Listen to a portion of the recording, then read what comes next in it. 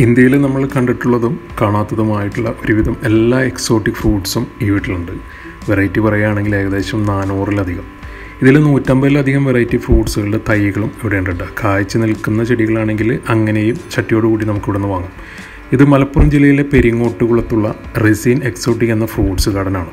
ഈ ഒരു ഗാർഡനിലെ ചെടികളും പ്ലാന്റിന്റെ വിലകളൊക്കെ ഉൾപ്പെടുത്തിക്കൊണ്ടുള്ള ഒരു ഫുൾ വീഡിയോ ഈ ചാനലിലുണ്ട് ആ വീഡിയോ കാണാത്തവർക്ക് വേണ്ടിയിട്ട് ലിങ്ക് ഇപ്പോൾ ഈ വീഡിയോയുടെ കമന്റ് ബോക്സിലും വീഡിയോ ഡിസ്ക്രിപ്ഷനിലും കൊടുക്കുക കേട്ടോ.